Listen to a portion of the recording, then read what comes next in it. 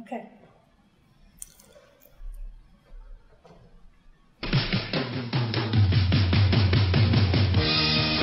Ah. Well, this is insanely bizarre. What the hell is this? Chas and Dave? Is that what this is? I, what is that?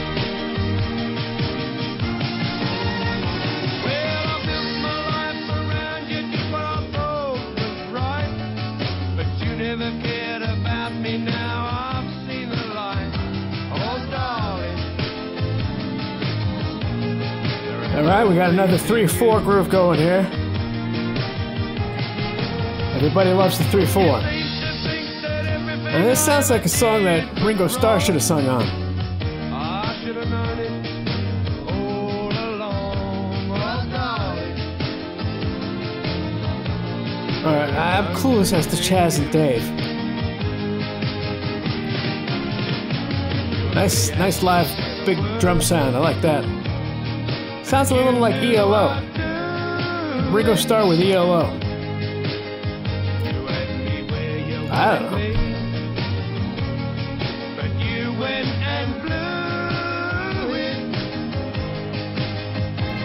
it. Almost sounds like Harry Nilsson.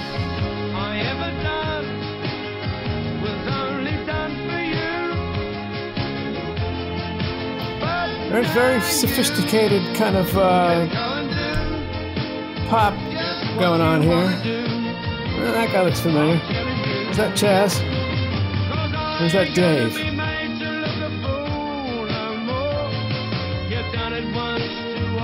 What That's Chas. Chas who? Chas? What? What year is this? 70, 73? And you seem to think that everything 70, 75. Should have known it all along. Gotta love the ties. Drums almost sound like a drum machine, but that doesn't sound like a drum.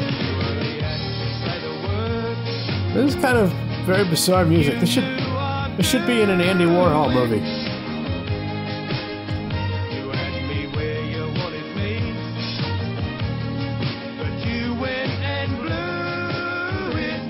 Yeah, there's some money behind the project because they have a full orchestra. I've got a guy named Chas, and one of them plays a nice white piano.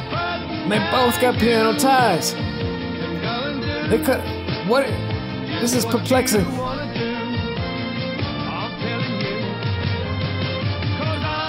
It's almost like a show tune.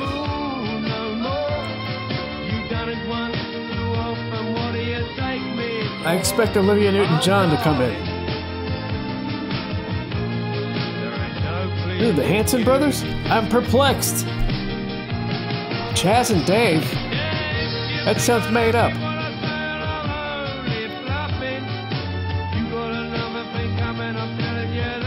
That guy's known to have a tip back a few, if you know what I'm saying.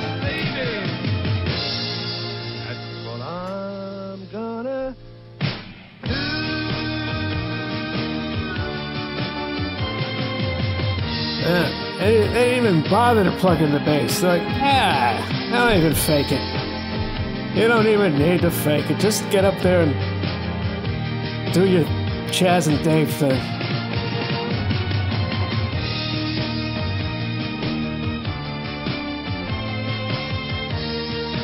This is, this is uh, it's good stuff. I just never. I, how is it that I've not heard of so many things and I thought I've heard of so many other things? Yeah, just when you think you know everything, you don't know anything.